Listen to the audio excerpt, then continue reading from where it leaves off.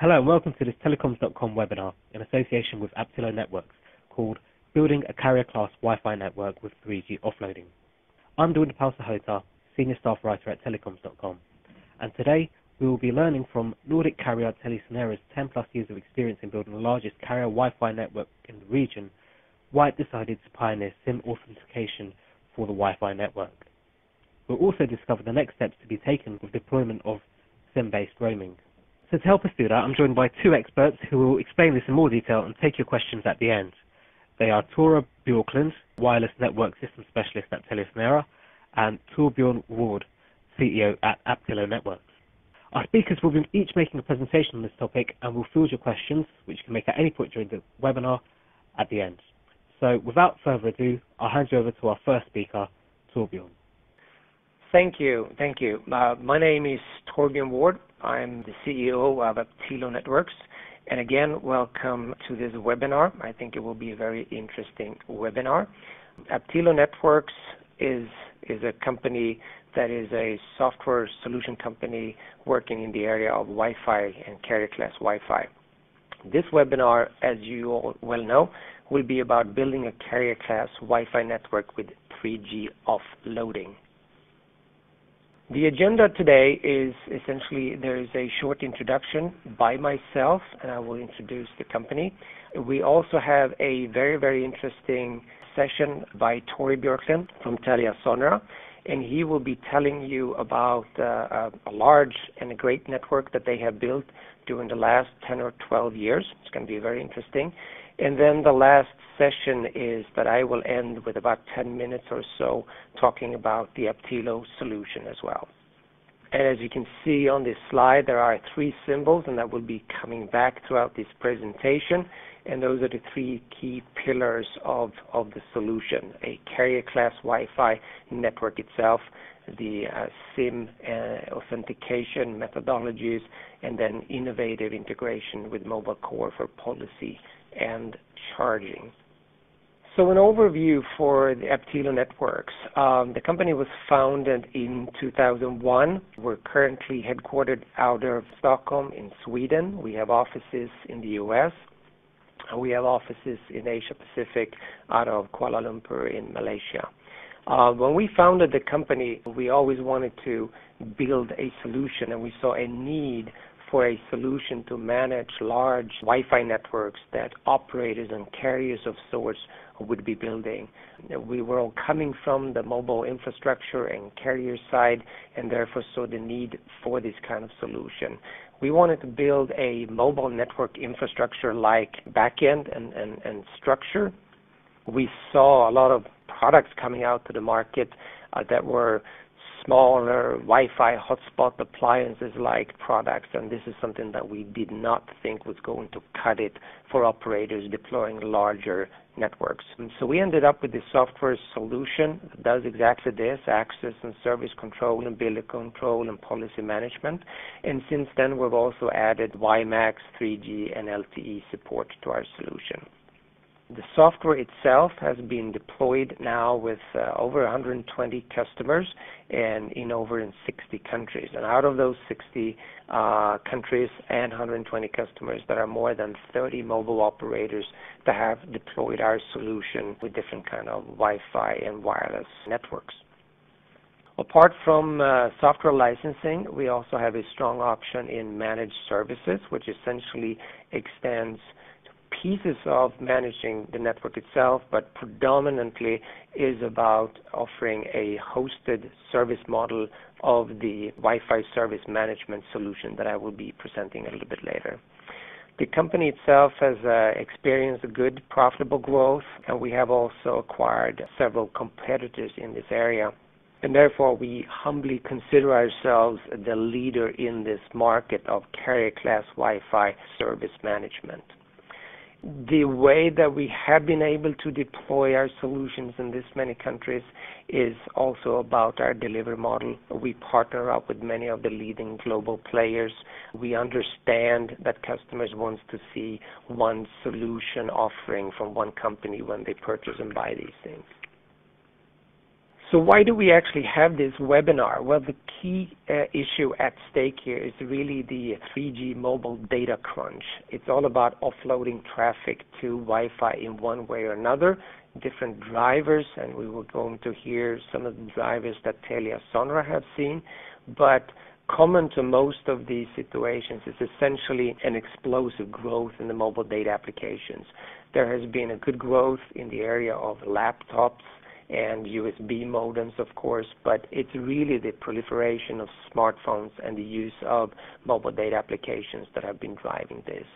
There are questions around at this point in time about the justifiable capex for these kind of capacity expansions that are required in the 3G networks. And we see also that in the established markets, there's a really, really strong demand for faster mobile internet from the end users. At the same time as in the emerging markets, there's a very, very strong uptake in the adoption of wireless internet. So mobile operators that see some five times growth in different kind of smart devices, whether it's smartphones, tablets, etc., and the fact, and, and this has been fairly well seen in many different networks, that smartphones produce and consume somewhere around 30 times more traffic than normal phones, then 5 times 30 mathematically is 150 times higher traffic need, and that is the big issue at stake here to handle that in the best way. There are a number of mobile operators that are not reaching any capacity limits at this time, but it's all about staying ahead of the curve. And what is an interesting aspect then is the fact that Wi-Fi can be a good alternative in certain traffic areas with a very high speed and a lower production cost. So we're also going to be at the Mobile World Congress. You're all welcome to come and meet us. If you would like to schedule a meeting, just send us a mail to the indicated email address here on this slide at events at aptilo.com, and we'll be doing the best we can to cater for this. Thank you, Torbjörn. So uh, I'm responsible for the wireless network systems on uh, Telia Sonera, and also with the development of that. I will uh, cover the uh, following topics here: the introduction to our wireless service, Telia Sonera and Home Run Wireless Zone, and uh, give you a brief of the background of us, and of course the implementation of the SIM authentication and those parts there, why we do this, and also some facts about it how it works with the different network 3G and, Wi-Fi, and of course technical impacts and uh, terminal readiness are they or not, and uh, then some conclusion and uh, what's our strategy. Telia is the largest mobile and fixed line operator in the Nordic. And the Home Run Wireless Zone is uh, also one of the largest Wi-Fi networks in the world. We have approximately 5,000 locations in, in the Nordic countries uh, and the Baltics. And uh, location is the, the ordinary ones, uh, hotel, airport, institutions, corporations, restaurants, malls, and uh, a lot of other public places the architecture has from the beginning been a carrier grade architecture and that's important to to uh, as an operator to be uh, acting as a as a carrier grade service.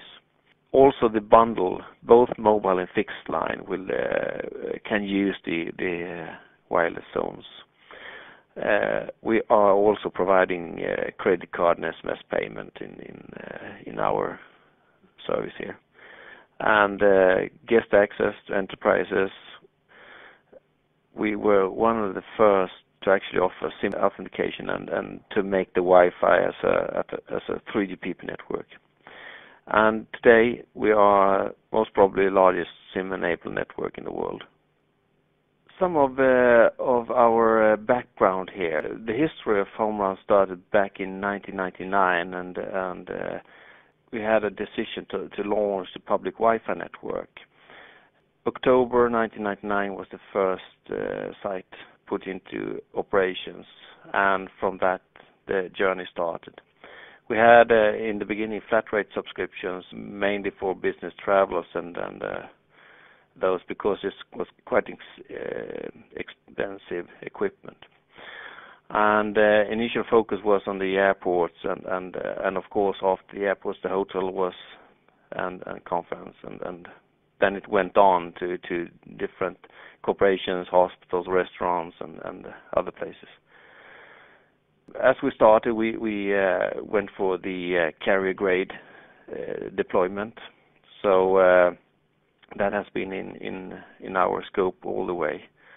And high-end technology and vendors and that's important. Also, the backhauling is quite important.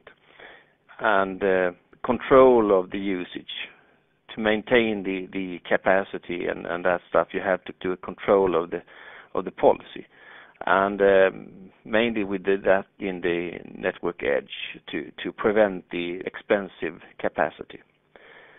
When we started in 1999, we didn't have the the takeoff as we expected. Uh, It was quite a high price to start. So in 2001, we we actually discovered that, well, we have to find some other way to to to give access to customer. And we we start the scratch card, and that will be a a tremendous success. we We produced many many many millions of that. Uh, 2001, the first uh, roaming agreement, uh, we settled that.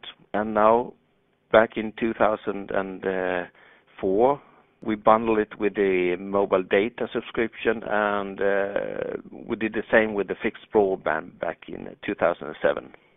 Last year, we actually was able to launch the SIM authentication and of course, as some device was was quite ready and give us a huge uptake. And uh as you can see, especially iPhone and iPad was the target there. Some challenges to build a carrier class service. I have some of those here, not not all, but the most important here. To keep up with the user and their behavior is the most problematic part, I think, since overnight they can change behavior and new device come in with some different behaviors and so on. And of course, to get all those places in remote areas and uh, to get them high capacity because people using the Wi-Fi, they are moving around like wolf packs using the capacity. And um, normally they use quite high capacity since uh, they are used to that by Wi-Fi. Maintain the quality of the service because uh, some of those using the service will of course have viruses and other stuff. Um, to be able to handle those behaviors, it's important because it's a shared network. Everyone who is using it has to share it in some way. And uh, to be able to do that, you have to select a system that is uh, capable of handling all those issues that can turn up in your network. So it's uh, the scalability and flexibility is really really important in this sense. So when you start building it it will be probably go faster and faster and more sites want to join. And to put the rollout in the forecast here, you have to have an effective way of doing that. Some of our sites we are building with uh, just to uh, read in a Excel file to the network and then hit uh, the go. So um, that's uh, very very important. And of course, when it comes to the network events, be able to to see those events coming and and also act on those so you can you can prevent the the network from being overloaded and, and, and so on. Uh, there's a lot of events going on in the network that you didn't even know that could happen. For example, the Windows update, it could sometimes uh, produce a stunning 2,300 sessions from just one user, and um, that's a problem. The last point here is uh, the site acquisition. That has to be um, that's an important part because to handle the sites because they want to have some benefit on your on, on the network. And it's a symbiosis where you can uh, produce capacity, you can sell capacity, and you can also serve the, the site itself. So uh, it needs a dedicated organization. Uh, and of course, they need to select the right site. Uh, what site is the best site? Is it a gas station or is it a hotel? That's important. And also, every site owner has their own demands. So to get them to be comfortable with what you can produce.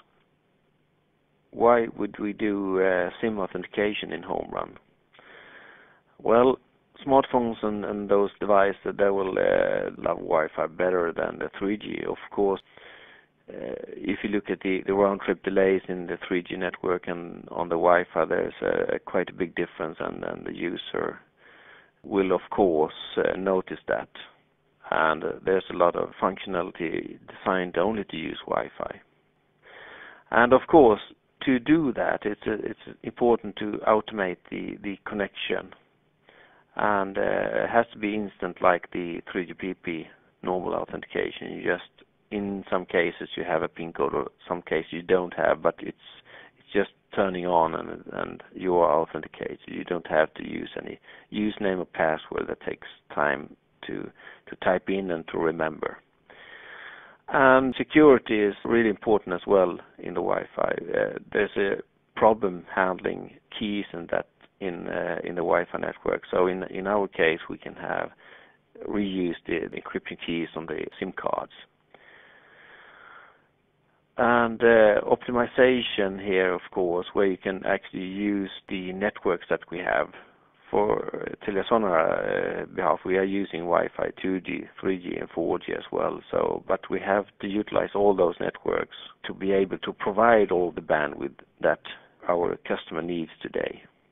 And, and of course, you, look at new smartphones, and those are they're using, for example, new 4GS uh, iPhone. It consumes three times more than its older one, for so uh, of course that that's important.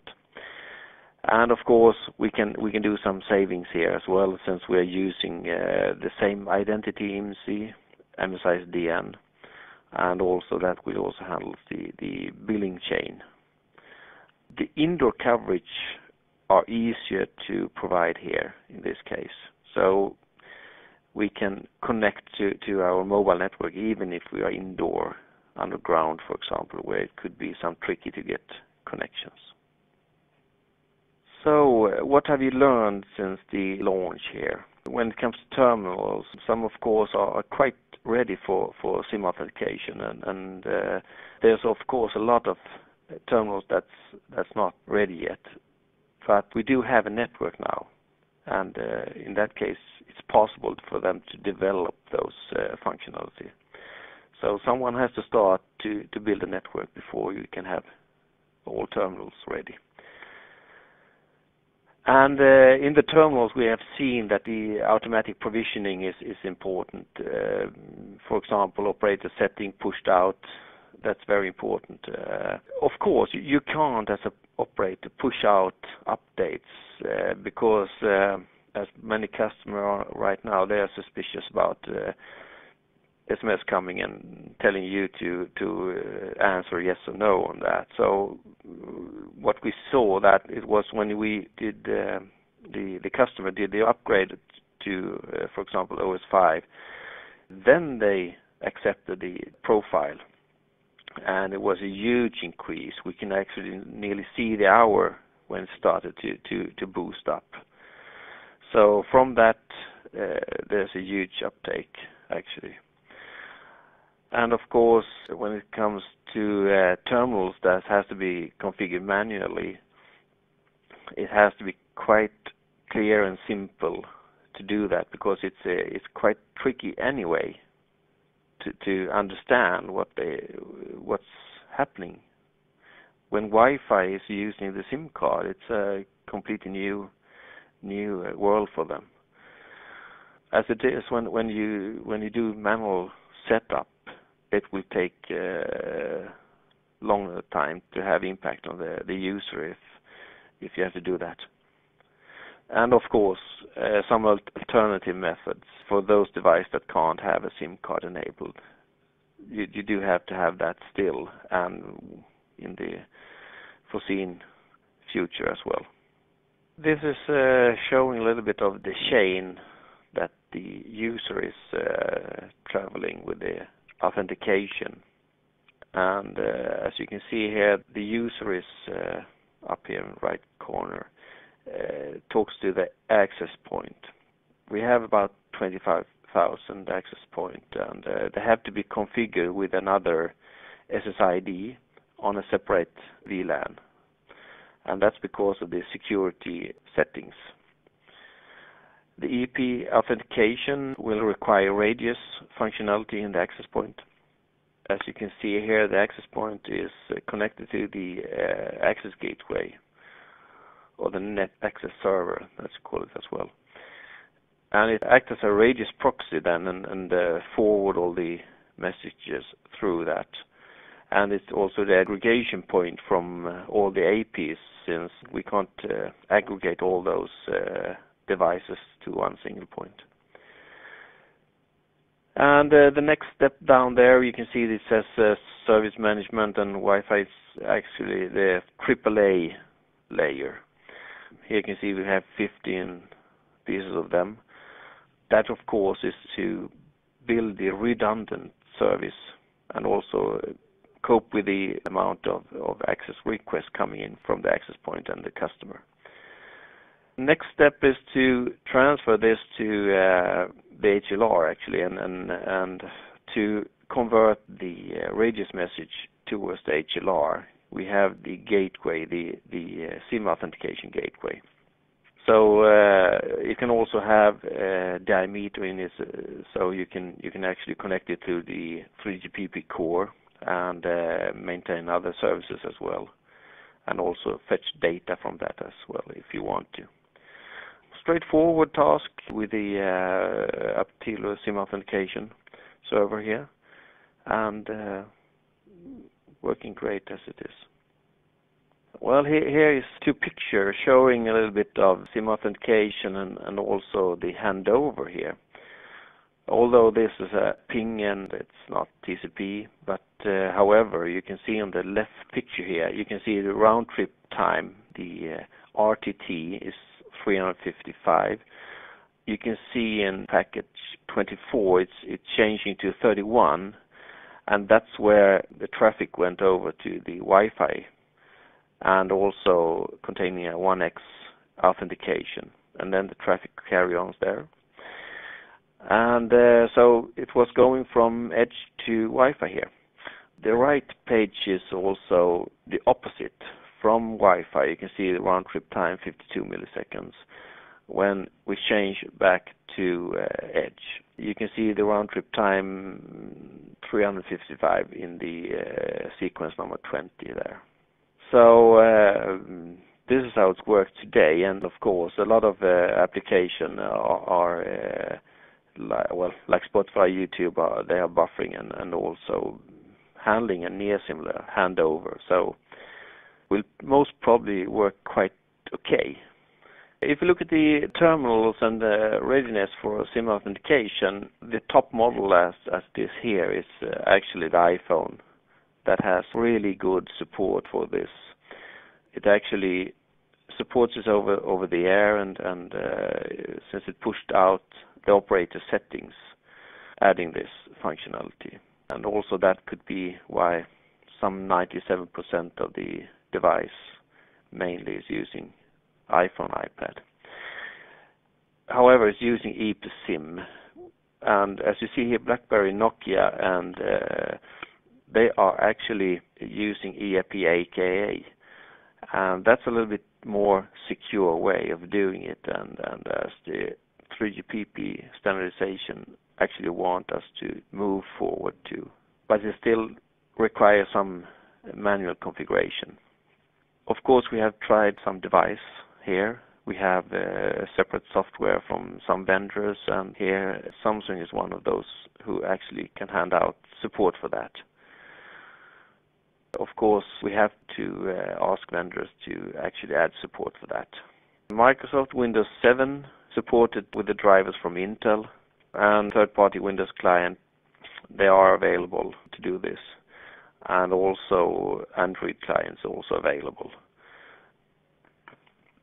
And of course, the, the conclusion here we have uh, so far, the Wi-Fi is a really good complement to 3G and 4G here. Mainly to 3G in the first step, but of course the 4G will come since there isn't so many devices with the 4G and the Wi-Fi in it yet. We have uh, a couple of those in, the market, but the 3G device with the Wi-Fi on it is more out there.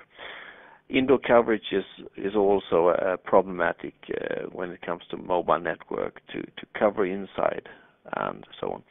And of course, the, Wi-Fi can in some time deliver higher bandwidth uh, within the small areas. For example, if you have a football arena or similar to that, you have a huge amount of people coming in with a different uh, smartphones and device and uh, giving us a hard time to, cope with that with the 3G network and also the 2G network. Of course, you, can do offload with this and, so on, but of course you have to have a secure Wi-Fi service because that's the way our customer expect us to uh, produce. So no one can actually see what you are doing on the device. And of course, all those uh, devices coming out now, they are addicted to, Wi-Fi in some way. And of course, we need to follow the stream here. So uh, our strategy here is, of course, to adopt and, meet the increasing demand here for Wi-Fi at least, and all mobile data, of course the conclusions from our launch here of SIM authentication is that, uh, well, it's it's extremely critical for uh, doing offload. and Of course, the launch generated huge uptake of the Wi-Fi usage, and uh, that's mainly because the SIM users, in some some instances, even do not know if they are connected or or not. Wi-Fi is turned on on the device, and they are, well, just walking by and, and the device will connect and of course disconnect when it's when when the user are are leaving the area. But if you have a, a great network, the white holes in between there won't be so big. And and that's a little bit why the uh, the experience to use this is quite ex- excellent since uh, they they're not aware if they're using 3G or Wi-Fi they the only thing they know is that well it's good coverage here it's working great and and and that's uh, that's good for us. This is actually we have been working with this in in almost eight years with the sim authentication and, and we have a, a platform that run the first tests and so on and and but we found out that uh, it didn't cope with the live network traffic when it reaches a couple of thousand users and and uh, that's uh, a little bit uh, why we, swap the platforms and, get a good system. Of course, this is a, really good, uh, successful launch with the SIM authentication. It's growing every day, and that's that's really good. So what we are going to um, carry on here with the, of course, we will increase the Wi-Fi footprints and perhaps mainly in dense areas and of course try to promote all, all the terminals so they will support SIM authentication. And in that area, of course, the roaming is, is the next one. We have done trials with the roaming, of course, and, and uh, it's quite simple to obtain and maintain, so that's important. On the development side, uh, we are evaluating the new uh, Hotspot 2.0 and, and uh, that is mainly building on the 11U standard, just uh, ratified not so long ago. So It's quite new, but that will support a lot of functionality when you're doing roaming. You don't have to add the profiles for roaming partner network and so on. You can actually, in the in the uh, beam, send out the roaming capabilities of the network. And Of course, the uh, the next part will be to integrate the the core for for the Wi-Fi and and uh, the 3GPP core. So uh, we can have some common policies and, and quota management in the network. So we, can have a similar 3G, 4G, 2G service as the Wi-Fi. When it comes to APN and corporate APN, we will also evaluate the concept of that as if we can add that as well. In that case, the all the mobile networks uh, can utilize the Wi-Fi as well.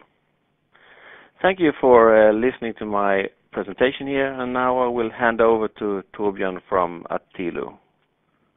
Thank you, Tori. That's a really, really interesting story, and I'm sure everybody is very satisfied with hearing the whole history, the challenges, and the solutions that you have found for your very, very large network. At this point in time, I'm going to spend some 10 minutes just talking a little bit about Aptilo and the solution that we have and what we're providing. And um, we feel that we know carrier class Wi-Fi. We have been deployed, uh, as I indicated before, uh, with over 120 service providers in 60 countries, and among those 30 mobile operator Wi-Fi deployments. We have capabilities to handle a multitude of Wi-Fi business models and payment options.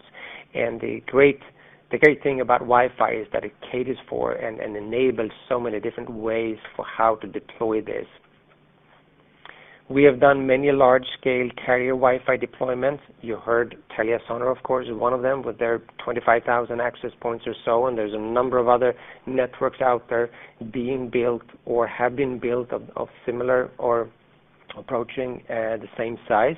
And uh, there's a number of deployments both in the Americas, in North and South America, in Europe, Africa, and Asia Pacific.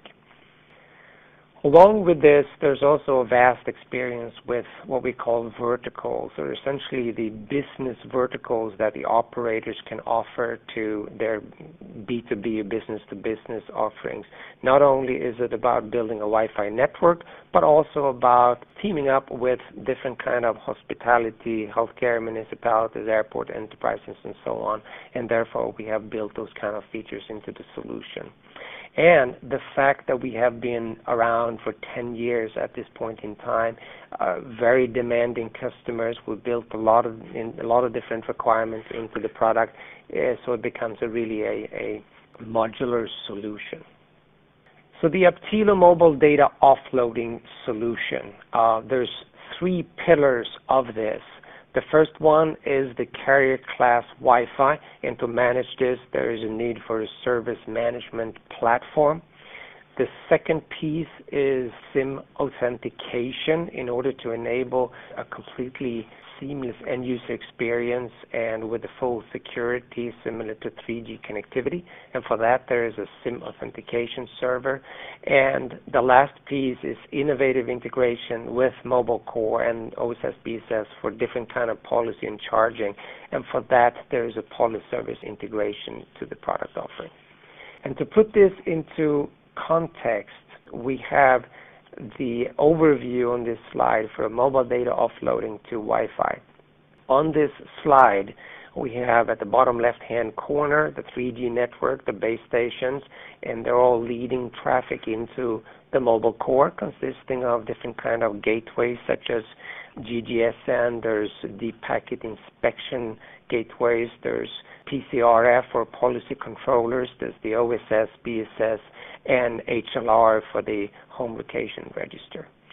Um, on the right-hand side, we have the Wi-Fi networks, and they, in one way or another, of course, consist of the Wi-Fi access points. There's a need for an access controller, of which Aptilo offers such controller to the market, but there's also a number of other players on the market which we interact with. And then there are the different kind of Wi-Fi networks. Of course, the operators own Wi-Fi networks. There's also many different hotel or retail chains that are building Wi-Fi networks. There are wireless ISPs that are different cable DSL operator Wi-Fi networks, and of course also international Wi-Fi roaming. And to tie all these things together, we are offering the Aptilo mobile offloading solution. These are the pieces and the three pillars that I previously talked about and how that fits into this picture. We have the first pillar, which is the carrier class Wi-Fi on the right-hand side, and for the integration and connectivity into the mobile are SIM authentication and the policy and charging. And I will be addressing each one of these three aspects. So the carrier class Wi-Fi piece is the aspect that is looking at and interconnecting with the different Wi-Fi networks. This is the area and the servers that are installed in a central location in a data center where all the services are defined for Wi-Fi. This is where the management of the Wi-Fi services are all handled. And it will handle a multitude of different login methods that are web-based, that are client-based methods, that are automatic, semi-automatic, and manual methods. There are both prepaid and postpaid capabilities built into the solution with quota management and, and remember the allowances and things like that. This is a solution that has been deployed and certified with all the widely available Wi-Fi vendors. There's a there's a tendency sometimes to think that since Wi-Fi uh, after the access point is pure IP connectivity, everything should be simple. But implementing the different end user scenarios and use cases and, interactions with different nodes does have a number of interoperability uh, aspects that we have been able to overcome and how we integrate with the different access controllers of the, access point vendors or with the Aptilo controller or also the different kind of standalone gateway uh, controllers and vendors that are out there. So that's managing and handling the operator's own Wi-Fi network.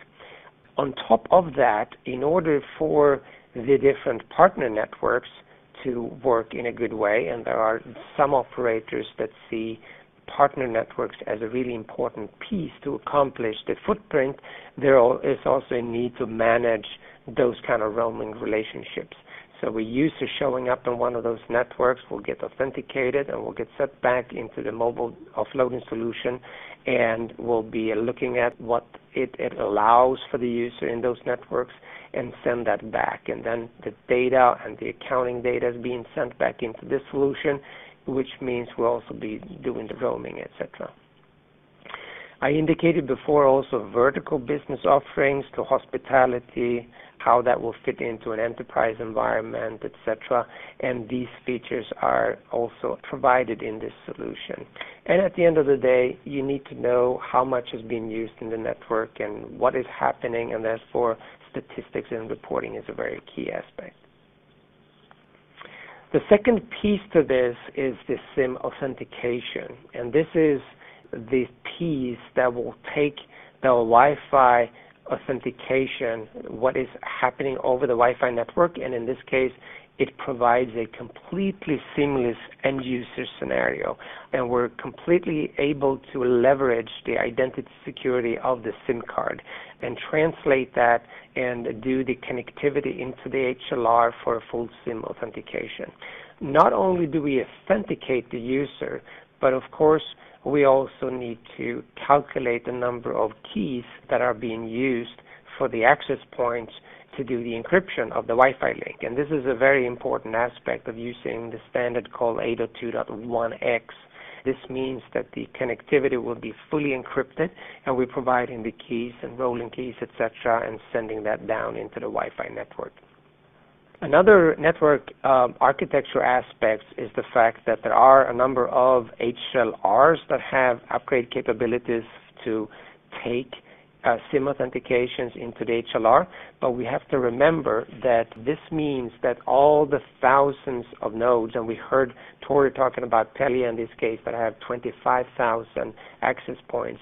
When it comes to the technical details about this, each one of these access points is actually a radius authentication client which means that the links has to be fine, and therefore the Aptilo mobile offloading solution with the SIM authentication server creates an aggregation of all those thousands of, of authentication links into one single one link that will go into the HLR itself.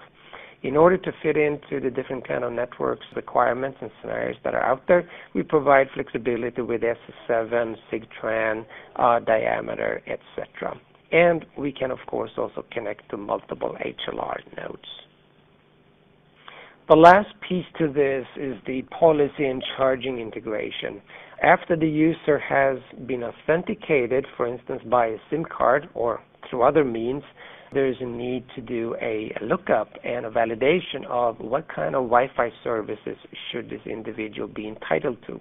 Usually those are deployed in various different areas in the operator's backend. There are aspects about whether user has prepaid or postpaid, and then in another area there is a definition of what kind of speed or what kind of priority or what kind of service this should be um, provided. So what we do is that we do multiple policy lookups in the different nodes in the backend. And by doing this, we can have common policies with the 3G network altogether. There could be also some additional unique Wi-Fi policies, and that can be added separately at, with no problems. And after the usage has been handled, if the built-in prepaid and postpaid charging and billing is not used in, in, in the Wi-Fi service management itself, and instead want to integrate with the 3G prepaid system or billing, that is of course something that's provided in here as well. And for devices that do not support SIM authentication, uh, we shouldn't forget about other methodologies such as even SMS and using one-time passwords as a good way to identify the user itself and, and make that a username password. And then that can, in itself can be combined with automatic uh, remembering the, the identity and MAC address of the of the user itself and the device sort of summarize the entire offloading area. And after having had the opportunity of providing these kind of solutions and experiences from both Telia Sonera and ourselves here, I would like to say that there is a truly, truly a great opportunity for service providers at this point. This is happening now. We have Wi-Fi footprint that is being built will strongly build a loyalty from end users. This has been proven. We have seen numerous cases where operators have built Wi-Fi, and we can hear when we speak to end users, well, of course, I use this or that operator because with that I can use Wi-Fi, and it doesn't cost me much, or it's something that I can use in readily available and it's really easy to use. There's also really a strong business case to look at for offloading. Of course, the starting point and the assumptions are different for different operators, but there is a very strong business case to alleviate the high traffic areas from some of this capacity. And we shouldn't forget about the fact that 3G is a tremendous fallback option if you implement the solution right so it's an automatic login, automatic user experience, then you can seamlessly go between those. So to be able to go into the 3G areas and then enhance that by going into Wi-Fi. It's also here now. It's really ready and it is happening. There's an enormous amount of Wi-Fi devices that are capable of doing this and uh, there are many, many more to come. Not all devices are capable of the SIM authentication methods that we've been telling you about, but there are many different pragmatic approaches to making different kind of devices automatic or semi-automatic login or, and uh, authentication into the network. We are involved in, in numerous, numerous Wi-Fi projects among many operators today. So this is really the time to build footprint and, and provide this uh, to the end users. Building the network and creating the services has to be done in a wise way. We're not suggesting people would not doing wisely, but there are quite a few uh, things that needs to be thought of one of the absolutely most important things that we see in the lessons learned that we've seen and heard is the aim for an automatic or seamless user experience. If you do that, this is a, a truly, truly important aspect to enable more users, not only the users that are early adopters, but also all the users that have devices that can do Wi-Fi. The second most important thing is to adopt a very simple and an easy to understand business model. People don't generally like to complicate things. They would like it to be easily understood, and, and that's one of the best advices that we can give as well. When it comes to the Wi-Fi network itself, it needs to be deployed in a way that it really can last. We need to use uh, high-quality Wi-Fi infrastructure and not to forget good backhaul bandwidth all the way back to the Wi-Fi access points, which means that it can really provide a high-speed environment. And at the end, also remember to choose an offloading solution carefully. You need to have a future-proof solution that can cater for your own subscribers with the services that you have, but you also need to cater for any visitors, roamers, temporary users, etc. And there is a number of things happening on the market when it comes to devices, and that will also uh, mean that there will be new use cases. So it has to be a very flexible solution that can cater for those things. And as an operator, you need to integrate well with existing core, the existing backend, and therefore you need to have the hooks and the ways to handle that. So we're coming to the end of this. We would like to open up for Q&A. Thank you very much for uh, for listening so far, and we're hoping that there will be many interesting questions um, from you all in the audience as well. Thank you. Thanks very much, guys, and thank you to our audience for viewing. We will now open up the floor for our experts to take your questions.